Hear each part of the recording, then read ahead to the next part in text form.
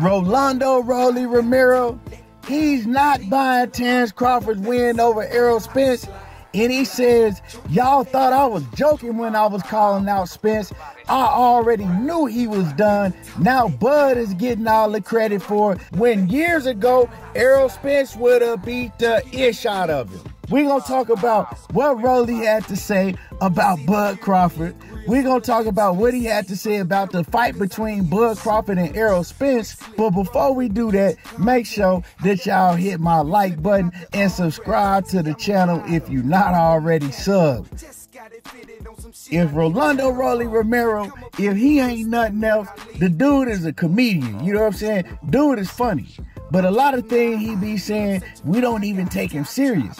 But apparently, he's saying that we should have took him serious with all the call outs he was doing with Errol Spence. Errol Spence was laughing at him, and Spence wasn't even taking him serious. But y'all remember, Rollie continued to call out Errol Spence. Every interview he got, he says, I want to fight Spence. That's who I want to fight. I'm going to 147 and I want to fight Errol Spence. Every interview he kept saying it. Now, I thought he was trolling. Everybody thought he was trolling. And wasn't nobody paying this dude no attention. And they shouldn't have been paying them no attention, right? Because we look at Rollie as, you know, he ain't all there in the head. He on medical leave right now as we speak. But the whole time we was laughing at Rollie, whether we should have been laughing at him or not, he says that he was dead serious about fighting Errol Spence. He says because he knew Errol Spence been done. He says he knows things about Errol Spence and he knows that he was a shell of himself.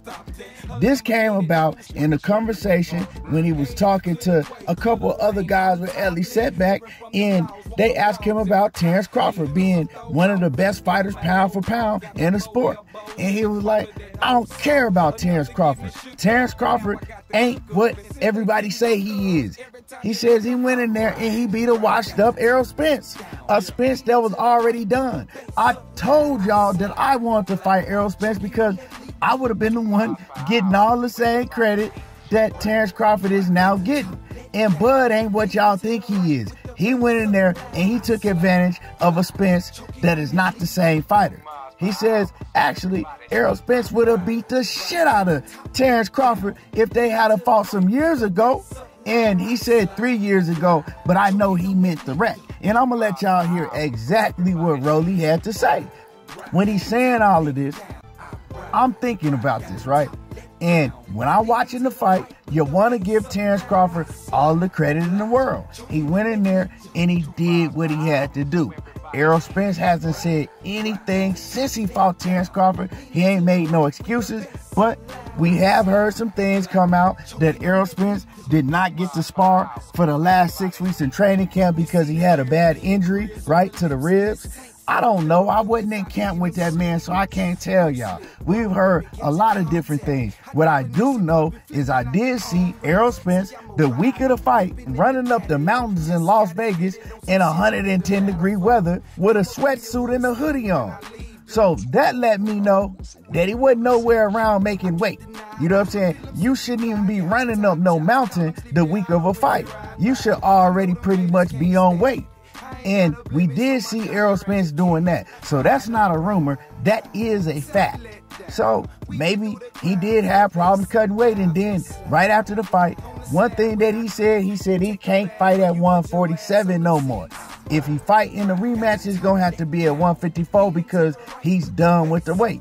That's pretty much all he said. He didn't make no excuses. He gave Bud Crawford all the respect in the world and left it at that. But we all can see that Errol Spence did not look like the same fighter in that fight. He was getting knocked down by jabs and things like that. So, Rollie, he not feeling the hype of Terence Crawford. He ain't believing it. This is what Rollie had to say about the victory that Terence Crawford had over Errol Spence. And then we gonna come back and we gonna cook on what he had to say. Eric Spark Crawford. Okay. Look, I'll tell you like this, I, I don't really care about Crawford. I called out Spence. I want to get that fight. Everybody knows why I called him out now. Why did you call him out? Be- be- because I saw that he was weak, and I saw that he was he he was he, he was he was fragile now. You know, I mean, he's been through a lot, right? And I, I wanted to capitalize on it. And Crawford got lucky, and he was the one that took that, that that was able to capitalize on it. You know, but like I said, him beating Spence doesn't say much about Crawford. Because if he would have beat Spence, I don't know, three years ago, well then that, that's a complete. But Spence would have beat the shit out of him, man. Well, Everybody high on Crawford right now, but he's not that special, man. Dean, He's what do you think? he- he's not. He's, he's not as special what people are thinking, man. And, and and then he talk about moving up to fight Canelo. He wants to fight Canelo. What happens in that fight? Canelo, bro. Crawford will never be able to box again after that. Hey, Rollie funny as hell, you know. Rollie funny as hell. Now, that Canelo shit, hey, Crawford just looking for a payday, and a lot of you fool ass Chance Crawford fanatics think that man can really go up to 168 and mess with Canelo. He ever go up to 168 anytime soon and try to fight Canelo, just like Rollie said, he'll never box again. But see, the thing is, Crawford ain't even intended on ever boxing again. He just want to go up there, fight Canelo, get knocked the F out, and then retire. Man, Crawford even know he can't whoop Canelo. Y'all tripping. That man just want a payday. But back to the main thing that we was talking about. Now I know I got all of the blood protection committee. Oh, y'all, y'all in the comments crying now. Y'all mad as hell now. Hey, but real talk, what he was saying about Errol Spence, man, I can't lie to y'all. You know what I'm saying? I have to give Terence Crawford all the credit for beating Spence, but I can't lie to y'all like I don't have it in the back of my head. Like, man, was he the same fighter? Was something going on with him? Because he just did not look the same. But to keep it 100, only Errol Spence and Derrick James know what was going on that night. You know what I'm saying? He didn't even look the same in the locker room before the fight that night. He didn't look the same when they did the media workout, man. Derrick James was hitting him all upside the head with the mitts and stuff. His timing was all off. But at the end of the day, you know, I still say you got to give Terence Crawford all the credit in the world because these are just accusations. We don't know. All we know is Bud went in the ring. He did what he had to do in dominating fashion. And the thing is, if something was wrong with Errol Spence, I don't agree with Rollie. Bud didn't even know. Bud didn't know he was gonna get in the ring with Spence and dominate like that. He didn't know until after the first or second round when he like, oh yeah, this dude ain't strong. He ain't what I thought he was. And then Bud started going to work. But Bud didn't know that. You know what I'm saying? Only thing we really could do is we could wait for whenever Spence has his next fight, whether it's with Bud Crawford or whoever it's gonna be with, and see how he look in that fight. Now, if he come in that fight and he still look like he did in the Bud fight, well then we know he wasn't the same fighter. You know what I'm saying? Now I know a lot of people gonna say, "Oh well, it's because Bud did what he did and he ain't the same fighter." I don't believe that. You know what I'm saying? I don't believe that. If that man come and show that he looked like he did in that Terence Crawford fight against a whole different opponent with a whole different fighting style, then we know that Errol Spence is just not the same fighter, and was not the same fighter the night that he stepped in the ring with Bud.